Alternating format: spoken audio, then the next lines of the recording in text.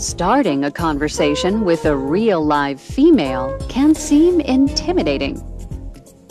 But when you put yourself out there, the worst she can say is no. You can start by breaking the ice. Try opening with something like this. How's your book? Is it good? It sure is. Or this. Plenty of cute dogs out. Do you like dogs? I sure do. Or this. Say, did you hear about the genocide on the news? I sure did. Once you've broken the ice, introduce yourself and start chatting. I'm Melvin.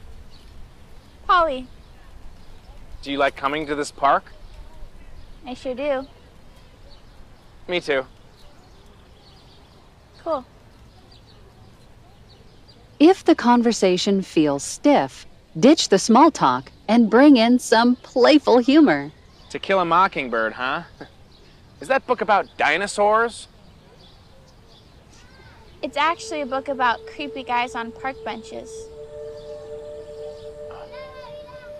Relax, I'm just messing with you. Oh, Teasing is a good sign. wow. You're funny. I guess I'm the funniest one on this bench. But just don't go too far with it, like this, More like the dumbest bitch on this bench. or like this. I guess I'm the funniest one on this bench. Guess I'm the creepiest. Yikes. Just play it cool and don't come on too strong. I don't know. My dinosaur joke was pretty good. I guess it could use a couple more dinosaurs in here. If the conversation is flowing and it feels like she likes you, try asking for her phone number. You know, maybe I could, uh. I could, um. Remember, the worst she can say is no. I could, uh. Get your number for. Get your phone. Get the number to your phone. Get your phone number? Oh, um, I actually, I have the number already written down in my pocket. Here you go. Thanks. I'll call you later. I'd like that. Make sure you wait until the evening to call her and come up with some date options before you ask her out.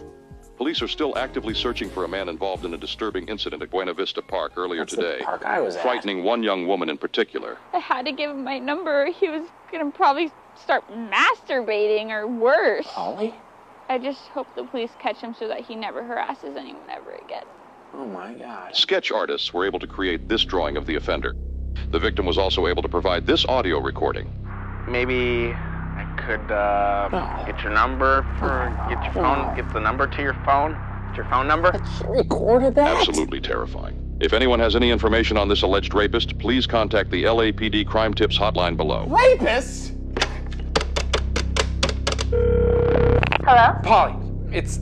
It's me, Mel- Melvin. Oh, Melvin. Yeah, why you're on the news saying a bunch of terrible, awful things about me? Why is this, this? How is this? No, this isn't funny. Why are you laughing? Because, silly. You thought a girl like me would go out with a creep like you? I was only trying to talk to you. Trace complete. Thanks for distracting him, Paul. We got you and your confession, you sick fuck! Who is this? Polly. Police! We have the area surrounded! Oh shit. Hands in the fucking air!